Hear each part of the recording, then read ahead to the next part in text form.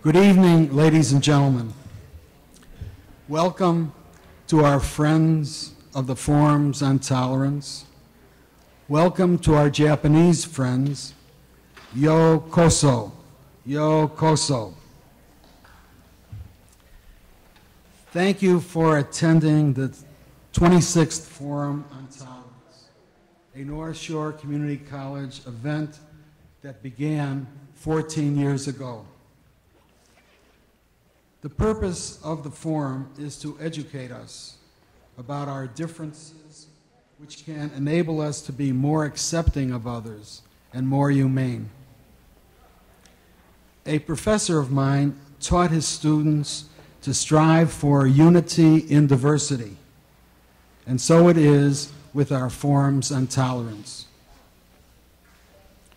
Tonight's forum is entitled Tolerance in a Time of Intolerance and is devoted to exploring moral decision making. Who could be a better model for moral decision making than Sugihara? How many in the audience have ever heard of Sugihara?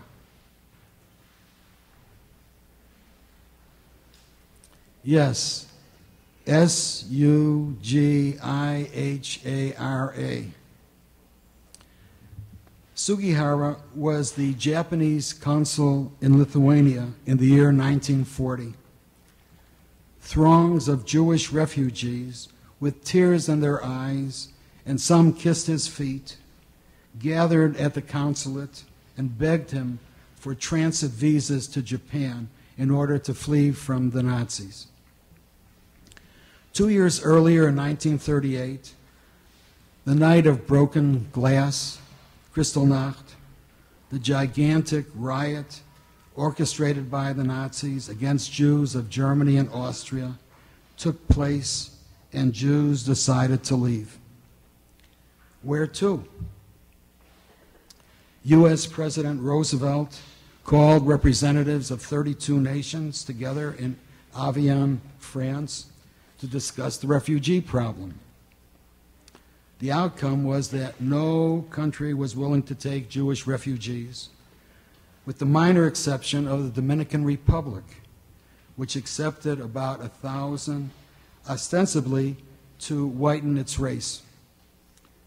The Nazis wanted to prove to the world that Jews were an unwelcome commodity by colluding with the president of Cuba in 1939 not to admit Jews bound for Cuba from Germany on the SS St. Louis.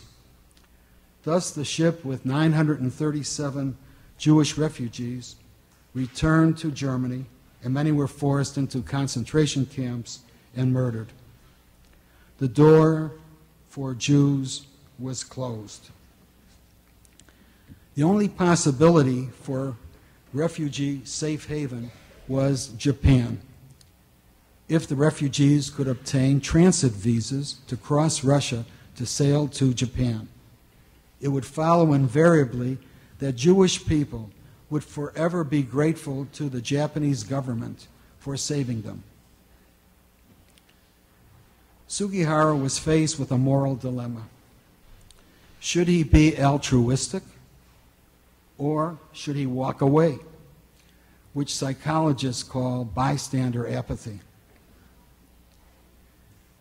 Just as Sugihara had to make a moral judgment, we too are faced with moral issues to resolve in our own personal lives. In order to motivate you to continue to think more about moral decision making, after tonight's program has concluded, the Tolerance Committee of the college has prepared a thought provoking series of questions on the back of the white program inside your folder. The folder also contains a lilac colored sheet called A Guide to Moral Decision Making for your consideration. In addition to the folder, you were given a button I'm wearing my button, with slogans by Edmund Burke and Martin Niemöller. as shown on the screen behind me. And the reason for doing this is to stimulate your thinking about the importance of standing up against injustices, and in the spirit of this past Tuesday's election, to campaign for doing what is right. Now it is my honor to call upon the president of North Shore Community College, Dr. Wayne Burton, to greet us.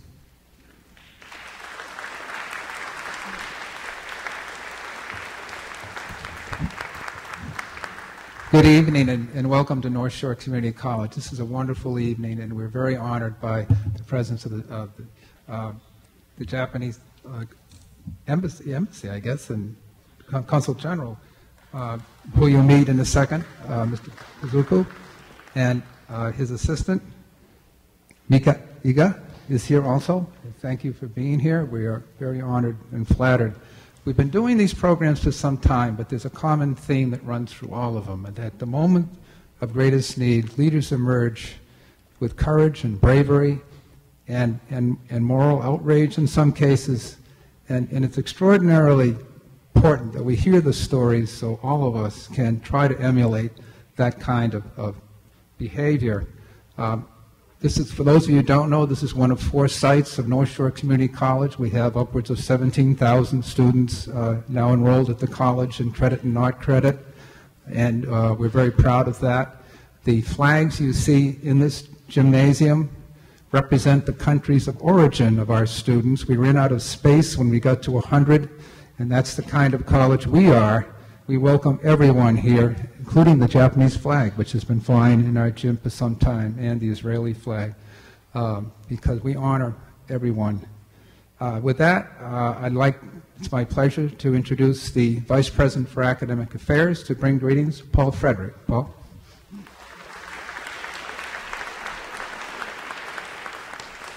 Thank you, President Burton. It's certainly a pleasure for me to join President Burton, Dr. Brown, members of our committee on presenting this evening's program.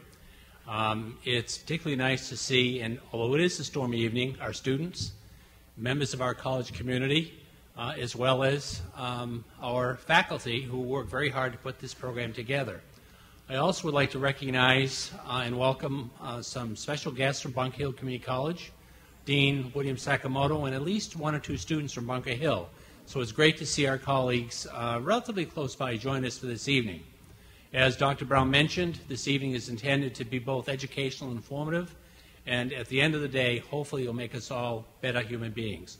Again, it's great to be here to join with you folks what I'm sure will be a terrific program.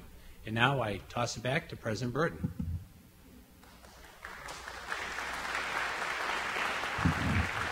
It is now my, my great pleasure and, and certainly honor to, to welcome our guest tonight for, to, for, for remarks um, traveling out of Boston on a dismal night. I, I, just happened to be out there. He probably thinks we planned it this way, and I greeted him as they arrived, as I do all of our guests when they arrive.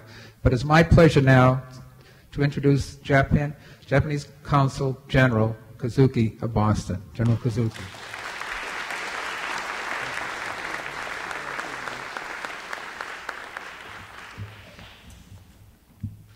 Good evening, ladies and gentlemen, and uh, Thank you, President Burton, and uh, Academic Vice President Friedrich, and uh, Larry Kohn. And thank you for Professor Brown for taking this initiative to bringing this program to the students of North Shore Community College and the citizens of the Lynn. As as a newcomer to the Consul General, I arrived just six weeks ago. And so a new, and it is my first time to be in this uh, college and my first trip to this North Shore Community College. And I'm very grateful, Mr. Brown, for inviting me to participate in this vital program of tolerance in the time of intolerance. Dr. Brown and his colleague organized this uh, important lecture series. As a representative of the Japanese government, I'm very grateful that you have included in this series this evening's topics this legendary Chiune Sugihara. I'm very grateful. Thank you very much. You will hear much about Mr. Sugihara Actually, I'm very amazed and pleased that many of ha- hands raised when you, you have heard the name Sugihara. And uh, I would like to tell you about, of course, you will know, learn much about him, but uh, this evening, as uh, I would like to tell you about my some personal connection to him myself. I have uh, two stories to tell you. First, I although I never had the honor of meeting Mr. Sugihara in person, but of course that I think I feel a certain kinship with him. He was, of course, my great senior colleague in the Ministry of Foreign Affairs. He also was a diplomat specialized in Russian affairs, as I am. Actually, bef- prior to this assignment, I was in the Moscow embassy, and uh, I spent eight, altogether eight years in Moscow. And so uh, I, I would not be afraid of the uh, winter in Boston.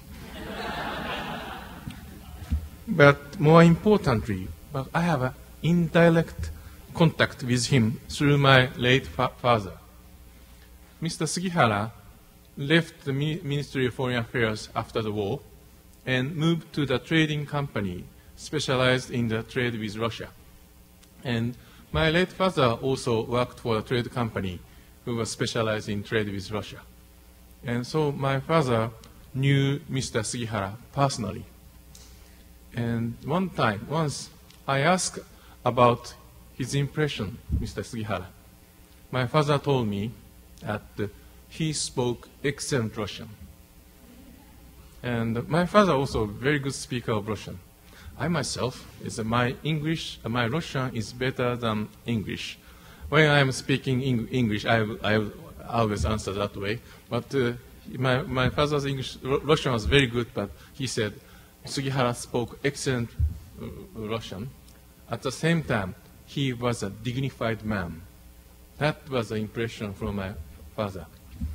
And uh, I think this is a very important part of the uh, Mr. Sugihara's personality. Because as a dignified man, he honors the dignity of the others. I believe his dignity and his respect for others helped Mr. Sugihara make his courageous decision to help refugees. The other story I would like to tell you that is a, this is a, about the city Kaunas. Okay, I visited.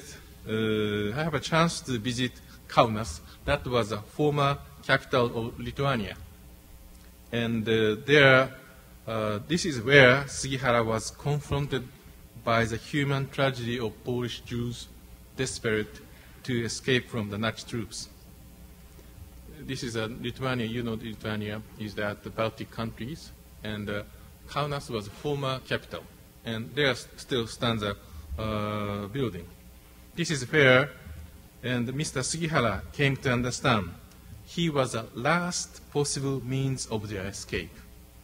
It was here in the house in August of 1940, where Consul Sugihara, ignoring the instruction of the Japanese government, signed some 2,000 transit visas, which allowed about 3,000 Jews refugees to enter Japan.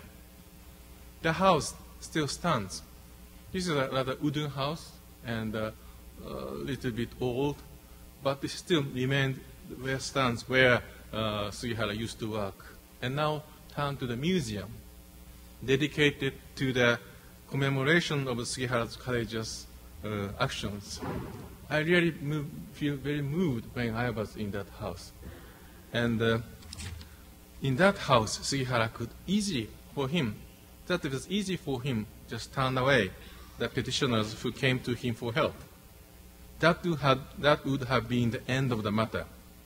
But in the difficult days of the World War II, Sugihara found the strength to take the action that saved the thousand refugees. And as you will learn from this evening's program, Mr. Sugihara was extraordinary and courageous man. Thank you very much.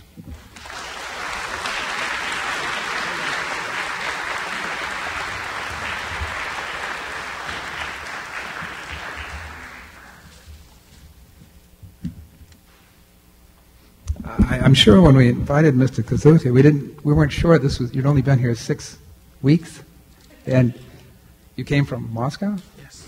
Now, anyone who can endure the winter in Moscow and then come and endure the winter in Boston deserves more than this, what we're about to give you. Uh, the only thing I can tell you is it does get dark here at night, unlike Moscow. It, as a token of the appreciation, and, and we're really honored uh, for you to be here this evening, and your remarks are wonderful. Uh, maybe this is the first plaque you'll get. Yes. yes Oh, good.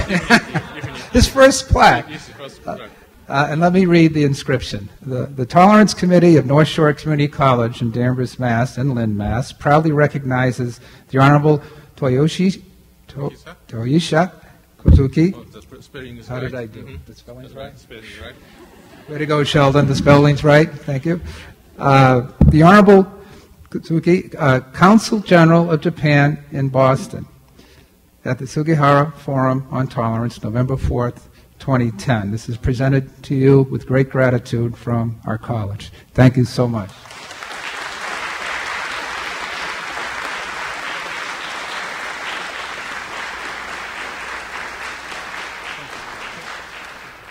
Thank, thank you very much. This is a great honor for me, and uh, this is the first plaque I received since my arrival.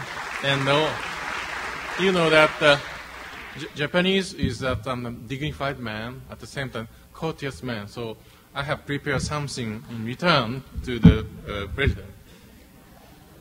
This, this is a, uh, I brought from, from Japan, this lacquer box. And uh, for, this is present for you. Thank you very much. Thank you very much. We'll keep this with honor in, uh, in the Forum on Tolerance and as, a, as a sign of the, the friendship between you and our school and your country and our country. Thank you so much. Thank you very much.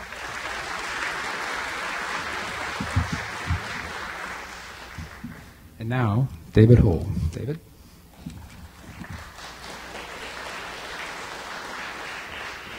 Thank you, President Burton.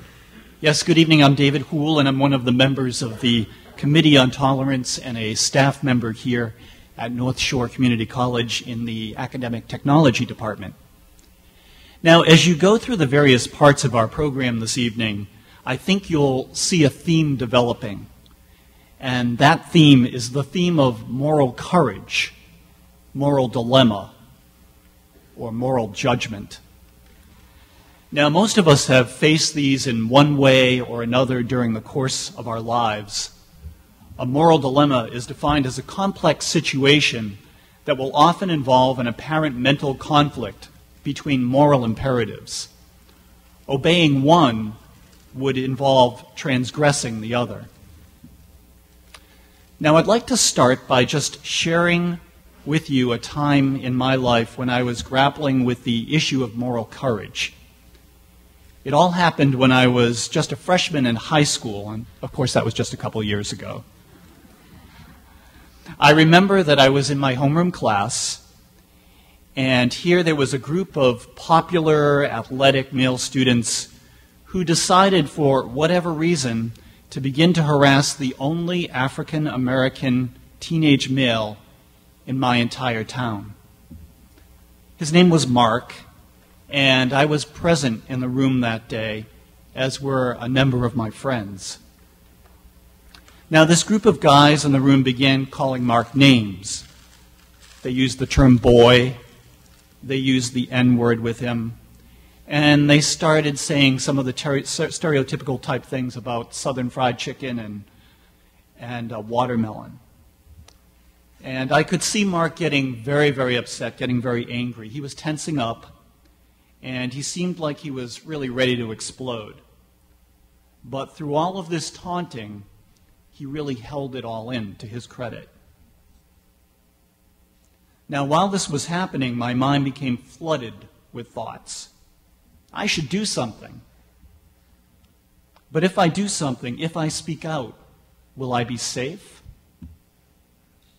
Well, of course I'll speak out. My friends in the room will take this on with me. Of course they will. But what if they don't? What if I'm the only person in the room taking on these bullies? Will I be bullied too? Will the rest of my time at Leicester High School be pure hell? I couldn't deal with that. Will I be beat up? Will I be hurt? But someone needs to come to Mark's defense. Mark's a great guy, and he shouldn't have to go through this alone. And I wondered why, just a few weeks earlier, why I could stand up to my grandfather when he began making comments about the African American dancers on the Lawrence Welk show, negative comments, of course. And I could speak out and really take that on, but I couldn't do that now. And where was my homeroom teacher during all of this? I mean, surely if he saw this happening, he would take this on. Or would he? Why can't I speak up now? Why am I silent as Mark goes through all this? I don't want to get hurt. Now, to this day, I think about that situation often. And to this day, I still wonder how I could have been more effective in taking that on, more courageous in taking that on. Moral dilemma, moral courage, moral judgment. Tonight, we have an opportunity to look at a DVD that, exam- that examines moral dilemma. It's called Sugihara Conspiracy of Kindness. Among the few Japanese records that survived World War II was a document written in 1940 by diplomat Sugihara to the Japanese ministry. Here, he expressed shock over what was happening to the Jews. Hundreds of Jews were begging to leave Lithuania and escape Nazi Germany's persecution of Jews. Sugihara appealed to his foreign ministry to allow him to write exit visas to help them flee to Japan. However, the foreign ministry turned down Sugihara three times. The moral dilemma what should he do? Sugihara pondered this. Should he obey his government or should he obey his conscience? conscience? Well, after much soul searching, Sugihara decided to do what's right he decided to do what's right because it was right. He signed exit visas to save 6,000 Jewish lives. And after the end of the war, Sugihara returned to Japan to continue his diplomatic career. Now let's hear in his wife's own words about what happened. And so we'll start the DVD.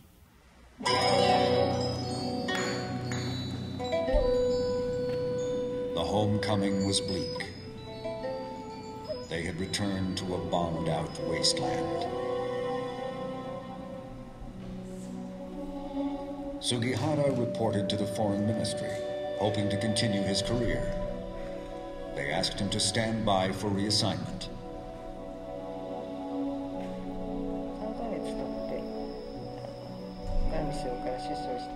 After three months, he received a letter from the foreign ministry asking him to come to the office. When he returned, he looked so disappointed.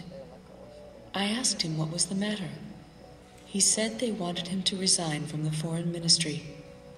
They told him, You know the reason, don't you? So we assumed it was because he issued those visas.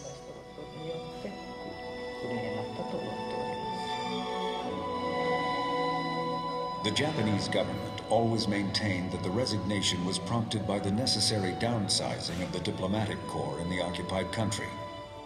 But the Sugihara family believes it was a punishment, and Chiune was devastated. Still can remember his face. He was speechless when he came back. We understood right away that you know it was not a good news. He was so discouraged that I think he didn't want to talk, not even mention about the subject. Even the next day, for a week or months, he didn't say anything. At 47 years old, Sugihara was left without a career. Then, just months later, his seven-year-old son Haruki died suddenly.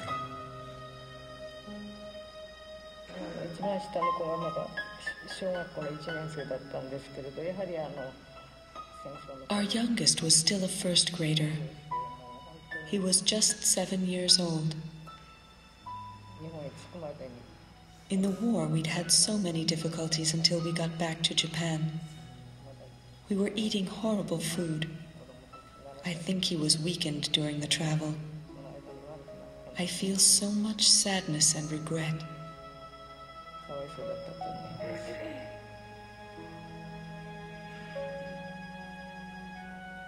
The family struggled emotionally and financially. For years, Sugihara refused to talk about the visas or ask for any help. He was forced to take a series of menial jobs. He started working in a supermarket, working in a small shop, like I remember. And uh, he, he took any job just to support the family. Sugihara ultimately took a position with a trading company in Moscow, making use of his fluency in Russian.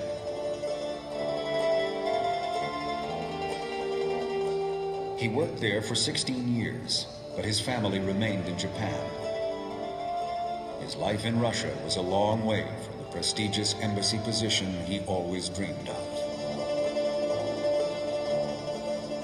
I remember once I stopped in Moscow to visit him, and uh, he was staying in a hotel. He had one room, and he said he will invite me for dinner.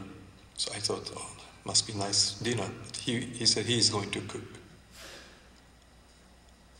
He took me to the supermarket in Moscow, and he bought uh, some potato and uh, sausage, and he cooked in his toilet. He has a small electric cooking uh, plate, and that was his uh, dinner. I mean, it was something special for him. During this time, several Sugihara survivors searched for him, hoping to thank him for all he had done. The Japanese government claimed it had no information. He could not be traced, partly because he was now living under the name Sempo Sugihara, perhaps fearing the Russians would still remember his negotiations so long ago in Manchuria. At last, in 1968, an Israeli diplomat and visa recipient, Joshua Nishri, found Sugihara. We never knew whether the Jewish people were actually saved and were able to go through Japan to freedom. When Mr. Nishri came, we found out for the first time. My husband was so glad to hear that. He felt relieved. He said what he did wasn't in vain.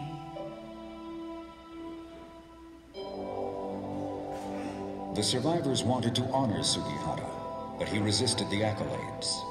The only gift he accepted was a college scholarship to Hebrew University in Israel for his son Buki.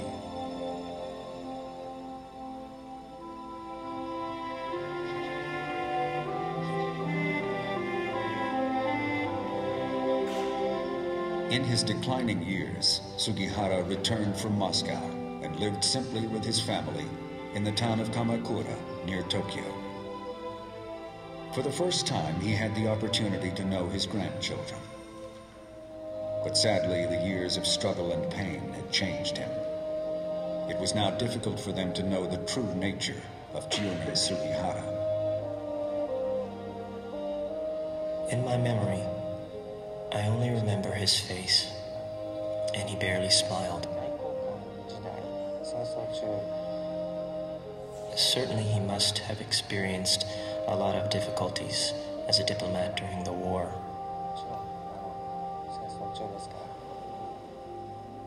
A person who's been through such adversity and death, he become quite weakened.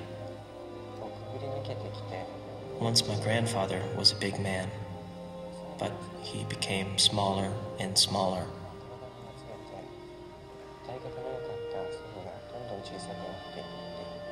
was unbearable for me to see.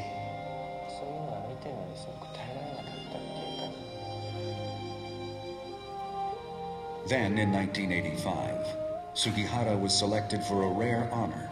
He became the only Japanese citizen to be honored by the Israeli Holocaust Memorial, Yad Vashem, as righteous among the nations, a recognized rescuer of Jews. But Sugihara was too frail to attend the ceremony.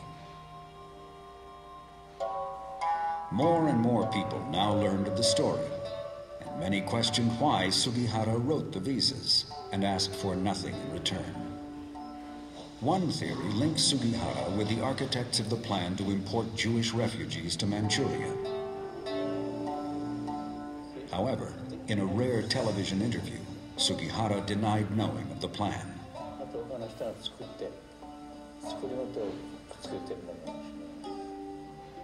No, I did not know it then, although someone may have connected me to it later. If I had known about such a plan, it would definitely have made issuing the visas a much easier thing to do. Because then I would not have to have taken on the sole burden of responsibility for the act.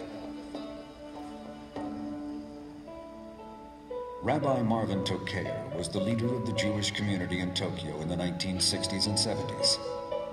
For over four years, he pursued a meeting with Sugihara. Finally, Sugihara agreed, and Tokayer was able to ask him, why?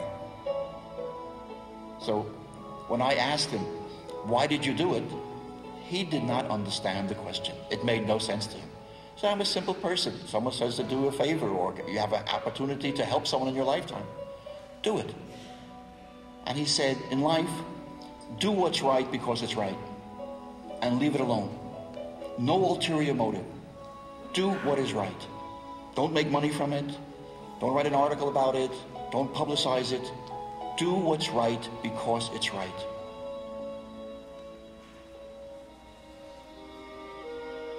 In July of 1986, Chiune Sugihara passed away. He was 86 years old.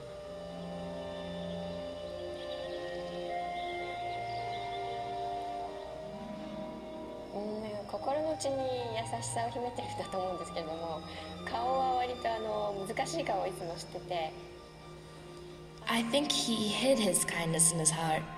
His face was always stern. まだ小さかった私たちには理解できない冗談を時々言ったりとかして He had a very unique sense of humor. すごく変わってる We were too small to get it. と思ってたんですけれどまあ大きくなるにつれて感情 He would tell strange jokes that I couldn't understand. I used to think he was such a strange old man. He was so bad at expressing his feelings. By the time I found out that he was such a warm hearted person and I was able to talk to him, he died. I was very sad. I wish I could talk to him more.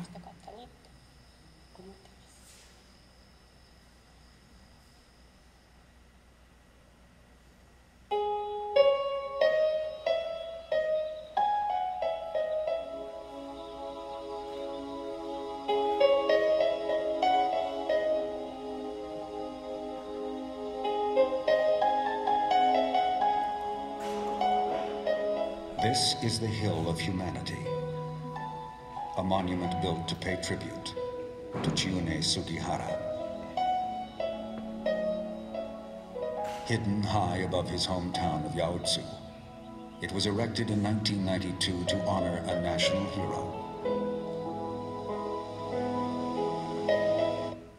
Our keynote speaker tonight, Rabbi Reuven Cohn, is a popular and engaging teacher of adult Jewish education. His primary teaching is for the innovative Me'ah program at Hebrew College and for the Maimonides School in Brookline. Reuven received his BA in mathematics and his rabbinic ordination from Yeshiva University in New York. He did advanced graduate work at Harvard University in medieval Jewish history under Professors Twersky and Yerushalmi. He holds a JD from Yale Law School and practiced law for 20 years in the areas of high tech, venture capital, and medical research. Reuven's parents received a visa from Japanese consul Chiune Sugihara in August of 1940. We welcome this evening Rabbi Reuven Cohn.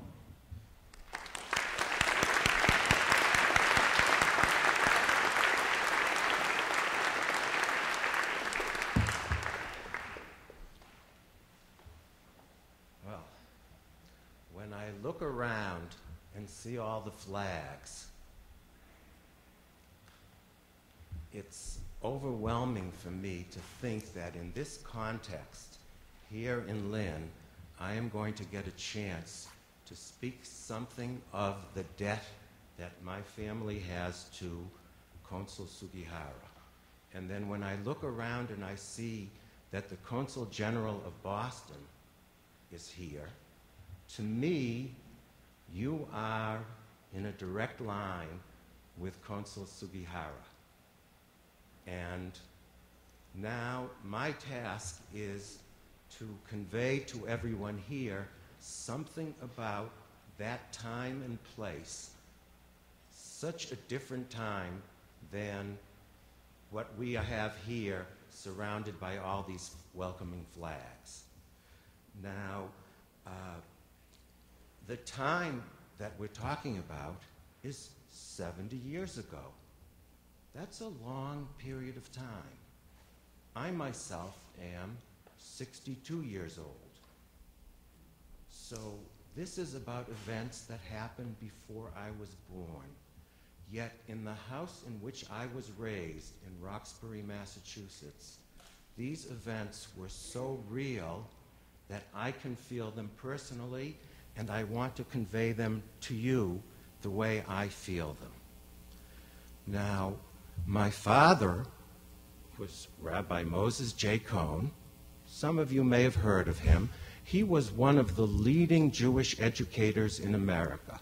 He was the founding principal of Maimonides School in Brookline. Fine. That's if we were talking about his resume. My father passed away 16 years ago. He is one of the people who lived this story. My mother is still alive and well at age 93, and she knows that I am here tonight talking about Kovna, Kaunas, Lithuania, Vilna, Lithuania, and Kobe, Japan. And when I talked to her last night, uh, my parents' language at home was Yiddish, and I was, I didn't ask for her approval. I'm not sure what, what she would say if she were here. This is, I am not telling you her story, I'm actually telling you my story. But one thing she said to me that was so striking, she said, it was an andere. It was a different world than the world we're living in now. So let me first take you back to my own childhood in Boston, Massachusetts. Very early on, when did I find out that my parents had been in Japan for six months from January through June 1941? I need to think about that. When did I find out? Well, the first thing that I found out, even before I went to school, is that there was a very big difference between the street where I played and the home in which I lived. In the street where I played, again, I was born in 1947, so I'm thinking 1950, 51, 52, the word Japanese was not pronounced in a kindly manner people still felt with full righteous indignation the memory of Pearl Harbor. I could only compare it to the way we today look back at 9 11 as something of great vividness. And I don't even want to repeat what you would hear if ever you mentioned Japanese or Japan. That was out in the street in my home, Japanese, that was said with lovingness.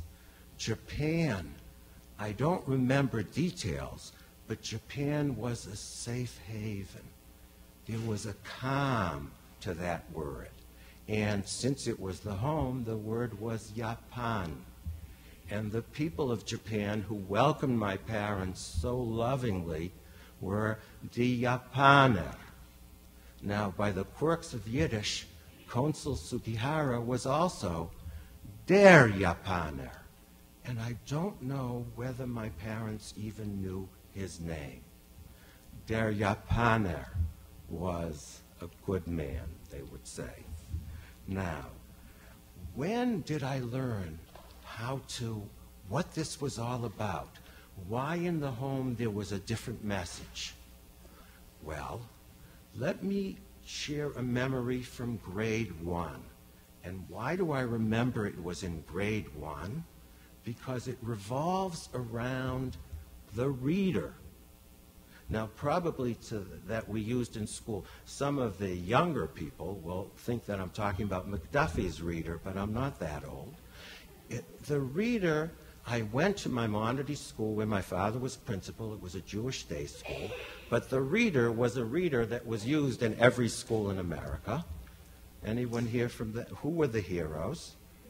Alice and, Je- no, no, no, we didn't do Dick and Jane. Alice and Jerry, their dog Spot.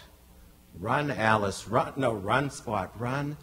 And then, as you got to be a better reader, the world expanded a bit. Alice and Jerry go to visit their grandparents in the country, the countryside. And I come home from the first grade and I ask my mother, where are, do I have grandparents in the country? How come I don't have grandparents. Where are they? And I remember my question, and I remember my mother saying, well, explaining. She said, well, you know, my father died when I was just 14, and your father's father actually died around the same time. So those are the grandfathers. And she said, and remember, when you were three years old, your grandmother, who lives in Israel, she was visiting. So that's your grandmother. And then she said, my mother was the Harrogate, which is Yiddish. She spoke in Yiddish. And I remember my head was dizzy. Is the Harrogate killed? Is the Harrogate murdered. And I said, she was the Harrogate? Did she do something bad? I thought it was like capital punishment or something. And my mother turned pale and she said, No, she didn't do anything bad. There were very bad people once upon a time. They were called Nazis, and they killed you just because you were Jewish. That's what she told me. And that was the first time I heard the word Nazi. Now, I am sure that she went on to reassure me. I don't remember those details. I think that she must have said, but don't worry, even then there were also good people. Even then. And I think that that's when she told me about their stay in Japan in fuller terms. In any event, I have another memory. How do you mark time? When you're a kid, you mark time by school events. I have a memory from grade two in the Jewish school. And I came home again all excited because there was going to be a play in the second grade, and I was chosen for a great part. What was the part? It was a Hanukkah play. And I was going to play Judah the Maccabee who saved the Jewish people. Okay, so you need a costume. So my mother's helping me with a costume. Here I am, I'm going to save the Jewish people. And she pulled out a, something that she had brought with her from Japan, a kimono. And that's how I went up on the stage as Judah the Maccabee wearing a kimono. And throughout elementary school, every time I had a part, Mordecai saving the Jewish people, this one saving the Jewish people, I wonder what my classmates thought about why I was always wearing a kimono. And so, in my family, the savior of the Jewish people came with a kimono. That was, that is one of the messages that I need to share. That this image affects you and stays with you your whole life. And it determines many of your decisions. And it makes you excited when you see so many flags instead of just your own flag. Okay, now, what is it that Sugihara actually did? Okay? Uh, I hope you don't mind. I want to give you a little more detail than you might want. But I hope you'll, I hope you'll stay with me on this. What did Sugihara do? Sugihara issued in June 1940 some 2,200 transit visas, allowing the recipient to pass through Japan and to spend up to 10 days in Japan. Now, what was the world like then? I think Sheldon, Dr. Cohen, mentioned the Evian Conference of 1938. Now, I actually, in addition to teaching adults, I teach 10th graders, and to the 10th graders uh, in Maimonides, I teach modern Jewish history. We come to the Evian Conference in 1938 when no country wanted Jewish refugees, and my students feel they understand it fully. Check. Anti Semitism everywhere. And I try to shake them out of that. And I ask them the following question How many countries are eager to accept penniless, destitute refugees? So, what's the answer? No one is interested in a penniless, destitute refugee. And I think resonances of this, this attitude are still with us today. Now, uh, now, so uh, Sugihara was willing to issue visas that would allow Jews to pass through Japan. Who were these Jews who were lucky enough to get this visa? For this, we have to go again right back to 1940. World War II begins when? What's the date? September 1st, 1939. Maybe. A week earlier, the unthinkable alliance came into being. The sworn enemies Nazism and communism became allied. And that is really the start of World War II. There was a secret part of that treaty in which Stalin and Hitler agreed to divide up Poland. Okay? Now, uh, now, there were, were several free countries in that area, the Baltic states, Latvia, Lithuania, Estonia. Now, short, my father, who was born in Germany in 1913, went to study in Poland at a rabbinical seminary and was in a, one of these renowned rabbinical seminaries, the Mir Yeshiva, when war broke out. Lucky enough to be in the part of Poland that was taken over by the Russians. Except people who were in the Russian zone didn't feel so, as we say in Yiddish, they didn't feel so ay ay ay.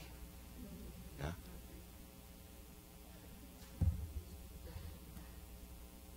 Okay.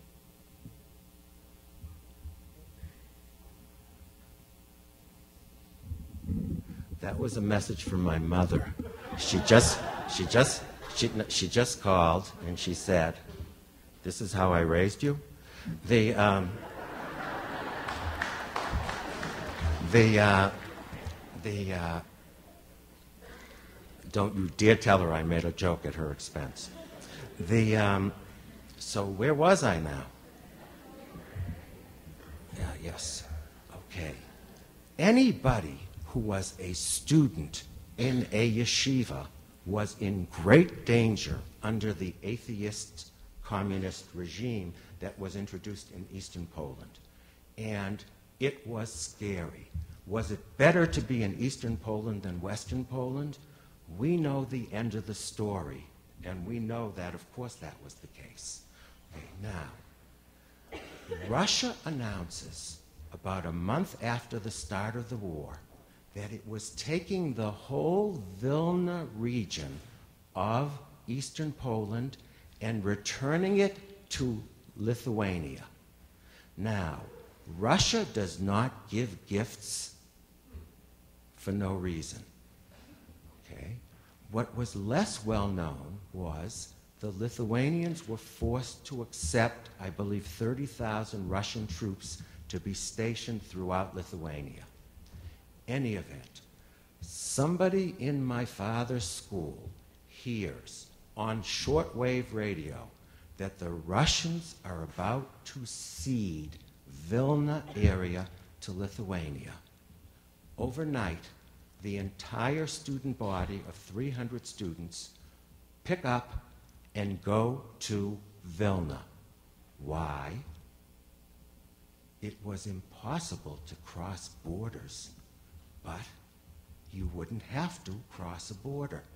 You would move to Vilna, and within a couple of weeks, Vilna would be Lithuania. Great plan, and and uh, the problem with the plan was, within several months, Russia invades Lithuania, and the 300 people of whom my father is part of that group suddenly are back under the atheist communist bear. To the west, they know of atrocities, and they need to do something. We've got to get out of here. Can anyone ever leave the communist controlled area? Now, this is where Sugihara enters. Consul Sugihara prepared a list of 2,200 visas that he gave within a month's time because after the Russians invaded, they informed Sugihara and all other consuls that they needed to get out. There was no longer a need for them. Okay, now, so we are back with Sugihara and his list. I first heard about this list when it was discovered by Professor Hillel Levine of Boston University. He discovered it in the archives of the Japanese Foreign Office. And every book I've looked at shows you a photograph of a page or two. Well, it turns out, as I was preparing for this talk, I'm Googling and looking and reading and rereading just to check my facts. And the entire list is available online at jewishgen.org. But first you have to register, and then you have to do searches. You can search for a name. So I managed to, I was holishing for this list. I was dying for this list. I, I tricked the computer because I did a, a, a word search for various dates. And the, I ended up printing out the first 20 pages of the list. And I just want to be, my eyes will be your eyes. I want to look with you at the beginning of the list. Can you hear me? Okay.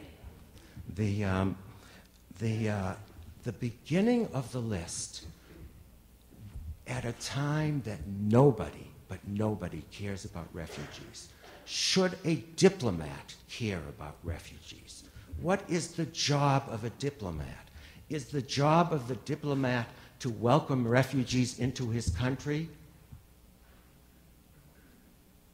That's not the job description. The job description is help us control our borders. And that's what makes Sugihara so unusual. Now, I'm reading just the beginning of the list with you, and I'll tell you why. The first visa, July 9th. One visa on that day. July 15th, one visa. 16th, one. 19th, two. 24th, three. 25th, four. Okay? Up to now, all of these people have been either Lithuanian, German, or Polish citizenship.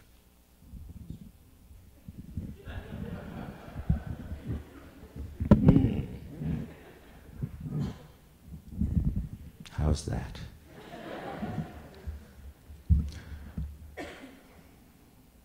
This is not working. Okay, so I need to get back to this list. I need to get back to this list.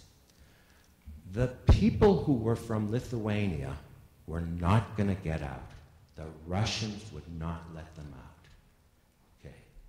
What happens on July 26th? 13 visas. But there is a new country of origin. There are two people from Netherlands. Rachel Sternheim, her husband, her Polish husband, Isaac Lewin, and what I know was her brother, Levi Sternheim. And this is where the story becomes complex. They come to Sugihara because they had corresponded with a, they were Dutch citizens. They could not return home because Holland was under, under German occupation.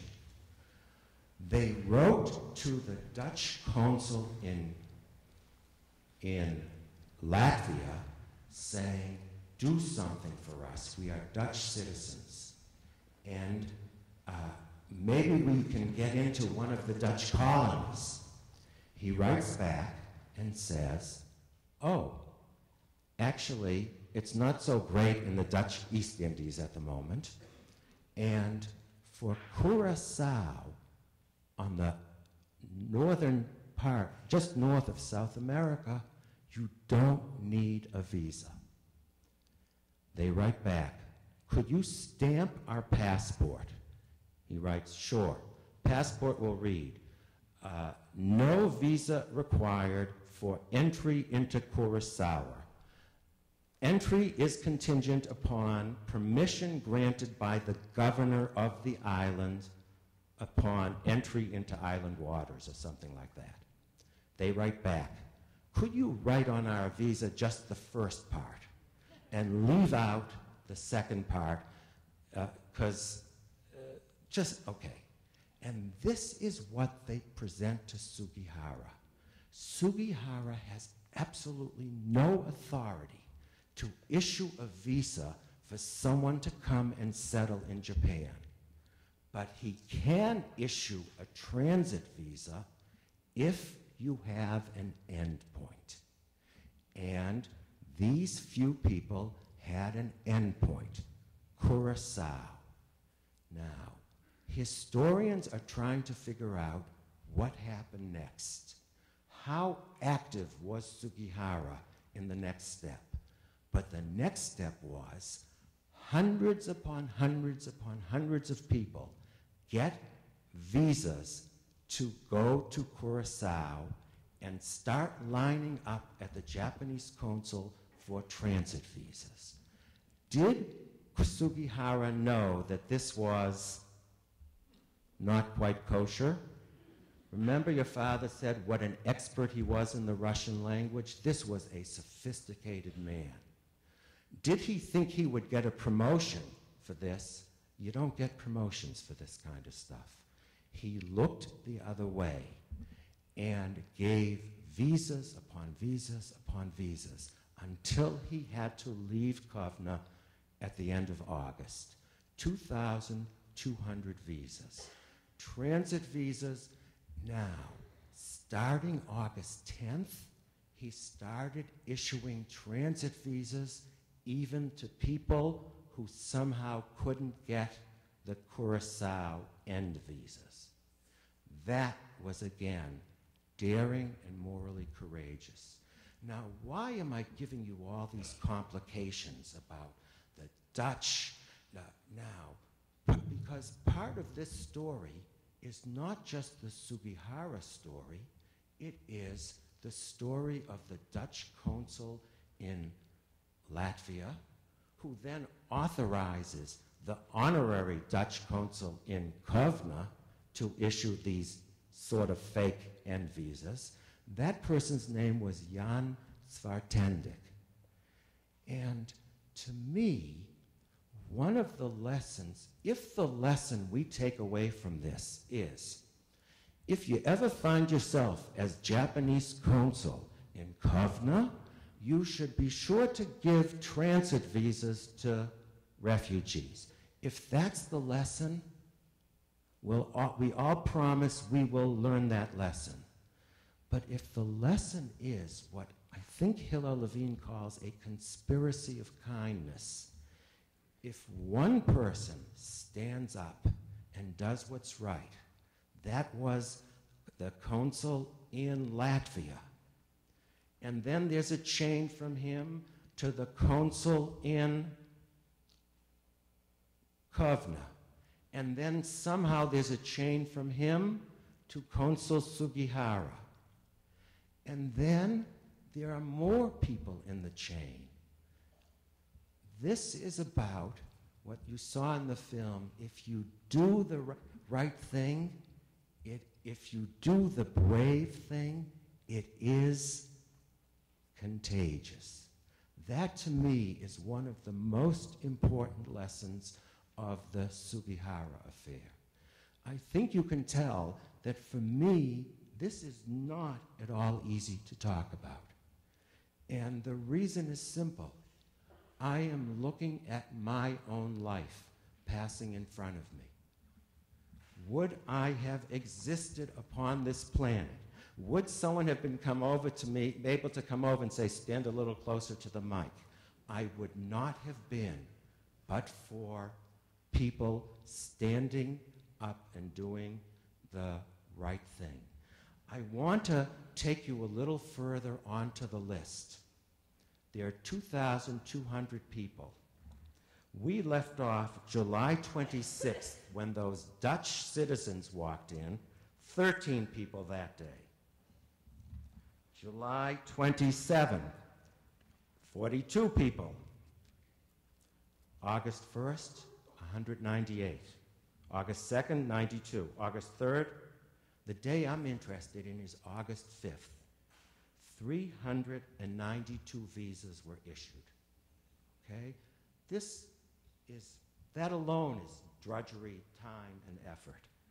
And on the list, number 1072, Moses Josias Kohn of Germany.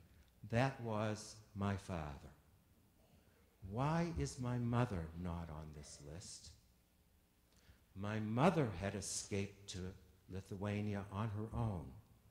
She was a teacher. She was actually a feminist. She was one of the first Orthodox Jewish women to get a higher Jewish education. And last night she was talking to me. She said, I don't know how I did it. I was all alone.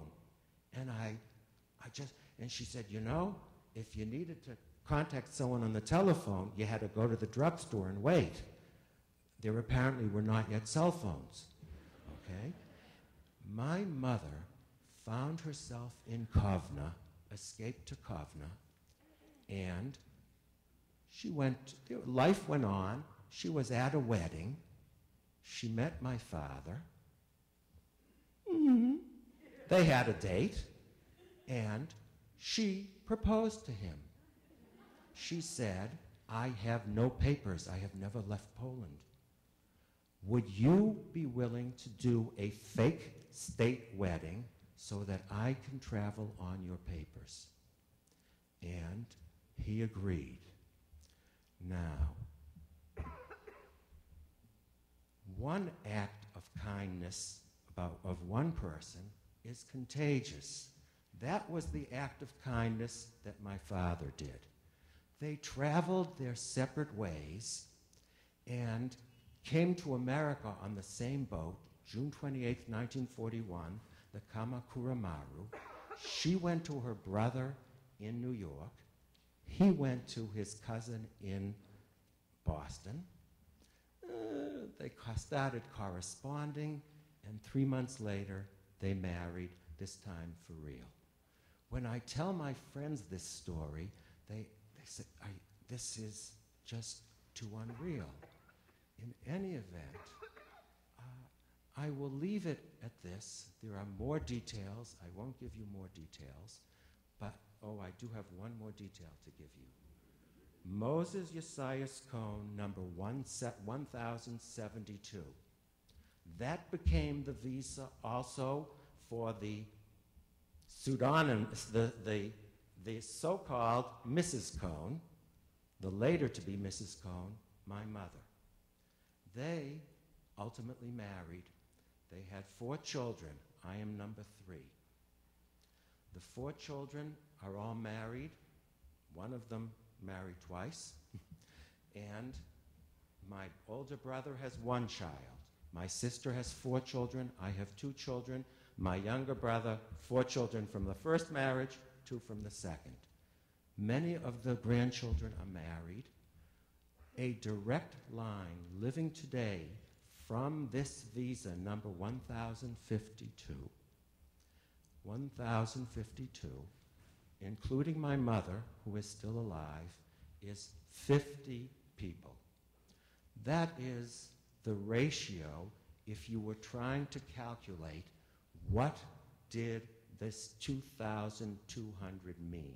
Okay? So I hope I've given you a little bit of the feeling of intensity that goes with living this type of history. When I spoke about it last time, I mentioned the dilemma that I felt when somebody told me, all excited, that Sugihara's son was going to be someplace or other, and did I want to go travel to meet him? Or, no, you know what? I'm not remembering it right. Oh, yeah, I'm already getting old. It was that meeting had already taken place. Should they keep me in mind if there were another opportunity? And I really had to think through what would it mean if I met Sugihara's son? Would I say, oh, hello, maybe I would learn to bow in the Japanese manner. You know, thanks to your father's brave action, I am alive today. I get to breathe on this planet. So let's do lunch. How do you show gratitude? And the simple answer is make an analogy to the gratitude you're supposed to show to your parents for bringing you into this world. You can't do it. You can't do it. It's so complicated. And the understanding that I have come to is the life that my parents led fighting for Ju- education of Jewish children in America, precisely the children who were not meant to be, that was a way of thanking Consul Sugihara and the Japanese people. My speaking tonight about this is part of that thank you.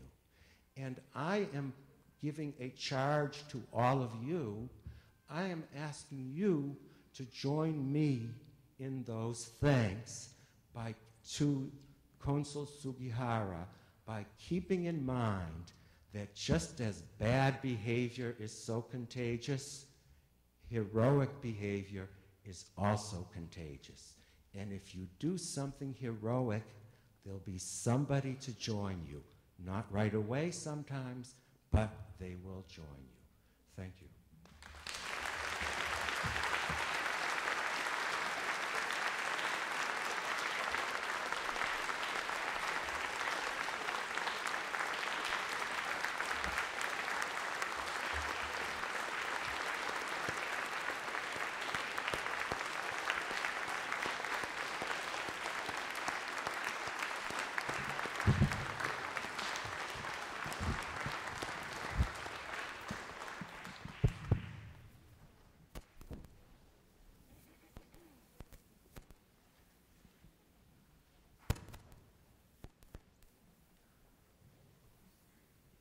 So we will now take some questions from the audience.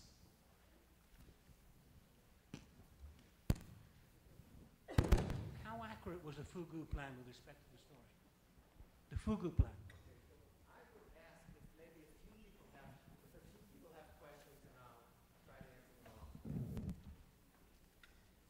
Your question was how accurate was the Fugu plan? A- Any other questions?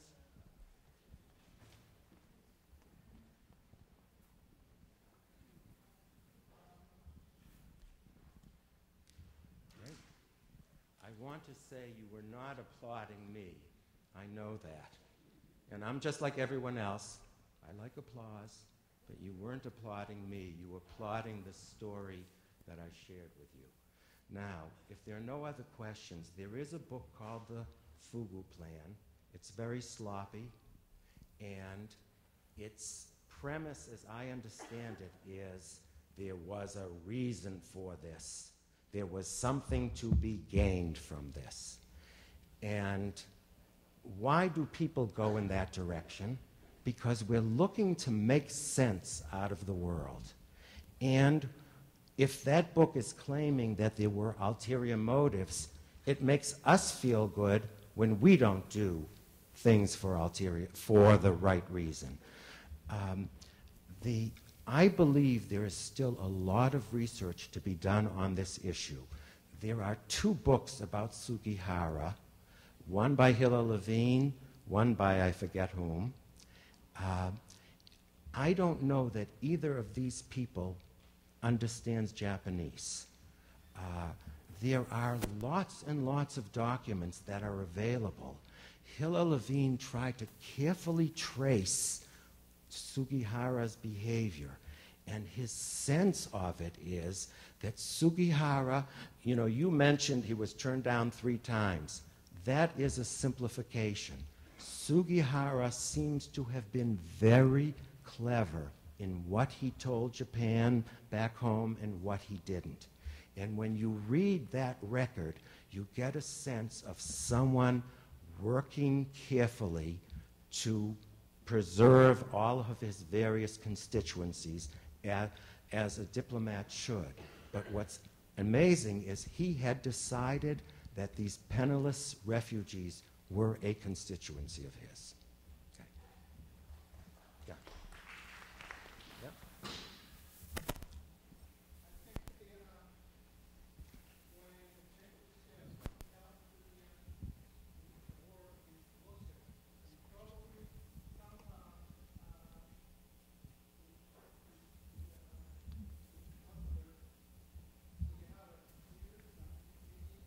Okay. Okay.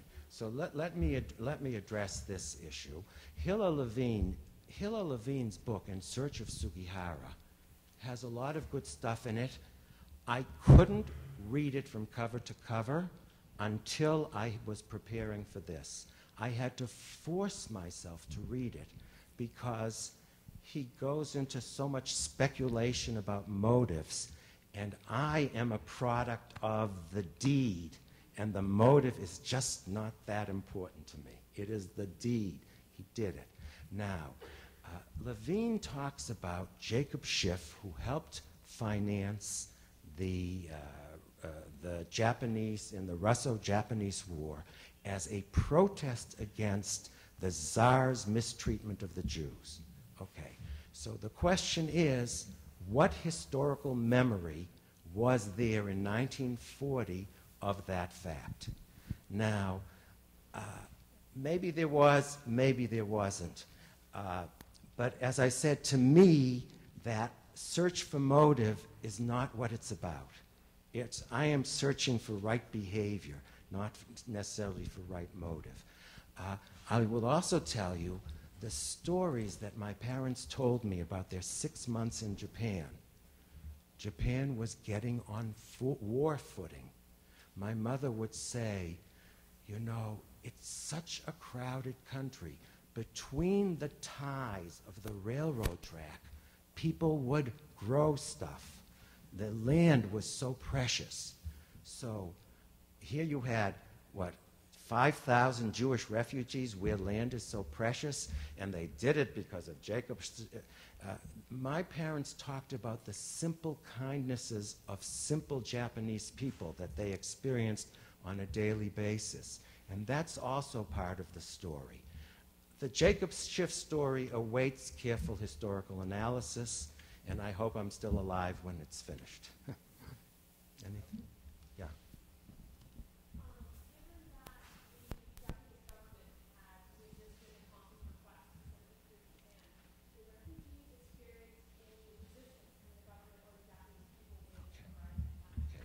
As I said, you need to read those two books to assess what precisely was the resistance of the Japanese government.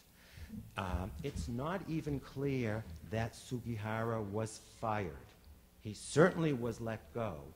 Japan, uh, it's, there's still a lot to be done, a lot of research. Now, what did you ask?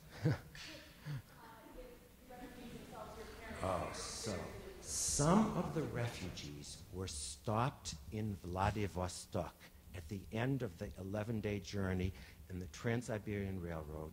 And some of the refugees who didn't have transit visas were not, you know, they had a tough time until the Jewish community of Kobe, Japan, intervened. Um, uh, Hillel Levine speculates that there was a matter of honor that once a Japanese consul had issued a transit visa, if the government did not honor them, it would be somehow airing its dirty laundry to its perennial enemy, the Russians. So, yes. Um, but, but my parents personally did not experience any, any negatives during their six months in Japan. I, I had a question, but I also wanted to apologize for not recognizing you when I opened the program tonight. I, I, I was going to, and I apologize for that. Um, and I really appreciate your being here, Rabbi. I have a question, though. I think everyone in the room knows why the 2,200 people were in danger. But could you say more about uh, the fact that many in the world were ignoring the beginning of the Holocaust? Um, how did Mr. Sugihara come to realize and, and know what their fate might be and, and what would have come to pass had he not done what he done he did. Okay uh, this is a difficult question to respond to. Um, let me instead of talking about mr sugihara let me talk about my own parents. My father was from hamburg germany did he know what was coming? He, you know, his whole life he used to talk about the things he witnessed. He said the terrible street brawls between the communists and the Nazis in Hamburg. Okay? Uh, it's not clear to me that he expected what actually happened. And I'll tell you something else. When the entire yeshiva picked up and left Mir, their town, the head of the yeshiva, should I tell you this? I'll tell you this. Hmm. This my father only told me at a difficult time of his life when he was 65 and was forced to retire. And he tells me this story. He says, The head of the yeshiva asked me to stay behind in not to go to Vilna because his elderly father in law who was the rabbi of the town, was too old to travel. Now, the head of the yeshiva said to my father, if, if the Germans ever come here, you're a German citizen. You'll be safe. That story tells me so much about what people expected. By the next, my father actually stayed. Everyone left. The next day, he looked around the town and he said, All that are left here are the communists. I've got to get out of here. Many of the people who benefited from Sugihara's largesse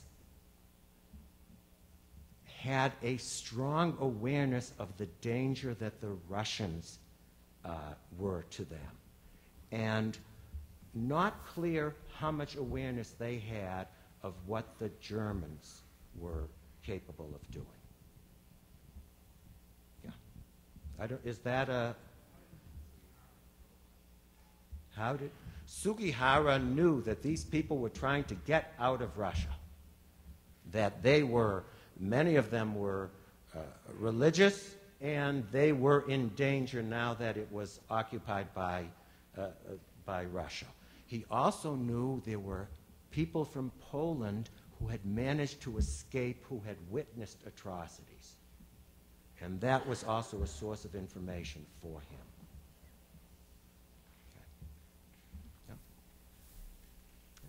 So I think I can sit down now. You were a really a very, very special audience. Thank you for this opportunity.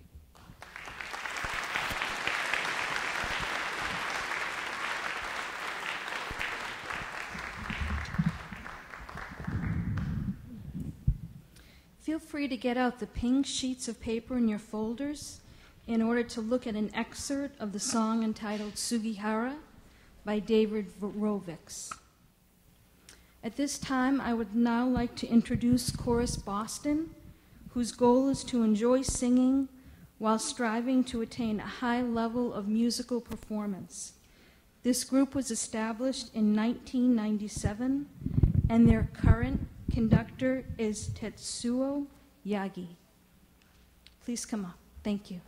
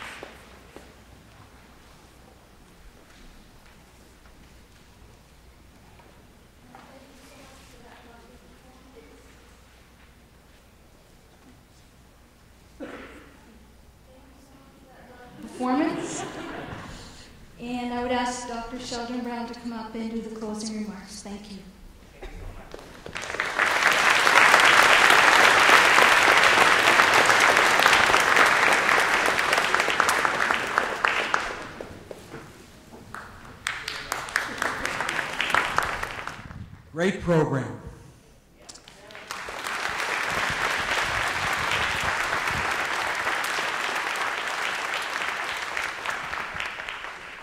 On behalf of the Tolerance Committee, we want to thank you, Rabbi Cohen, for your comments, your reflections, uh, your feelings about uh, your parents and uh, Sugihara's uh, work to uh, save them and others.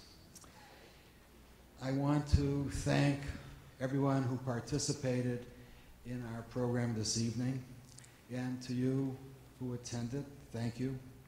In your folder, you'll find a blue brochure, and on the back is a list of the members of the Tolerance Committee. Please stand as I call your name, for we applaud your tireless efforts in behalf of these forums.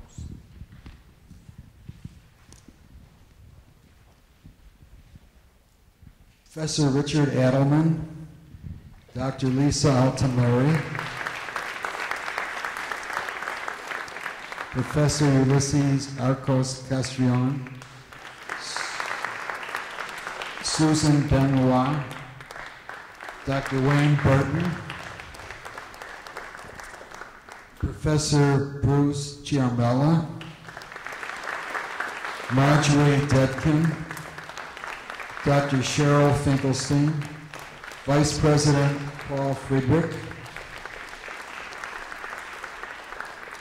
Professor Rose Gould, Director Catherine Gravino, Professor Yusuf Hayes, David Houle,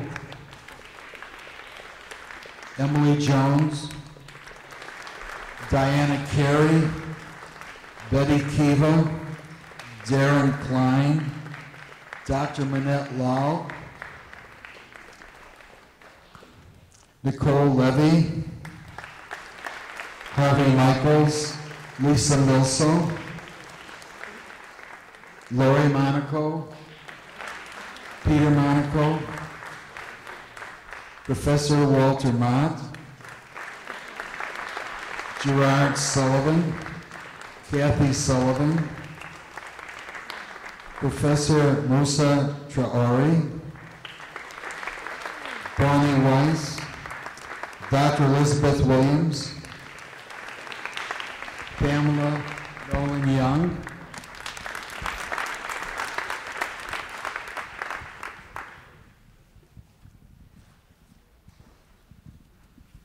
A bouquet of gratitude goes to Patricia Lavoie, who engineered every detail of the 26th Forum, as well as the earlier ones. So we'll call upon Patricia Lavoie to take a bow and step forward.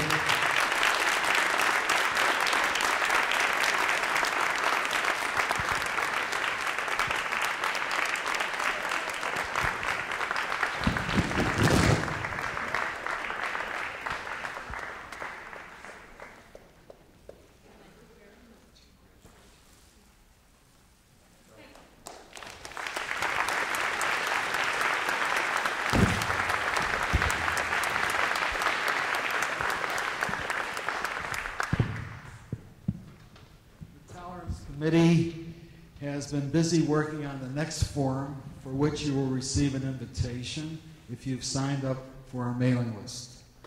Thank you again for attending. Good evening and sayonara.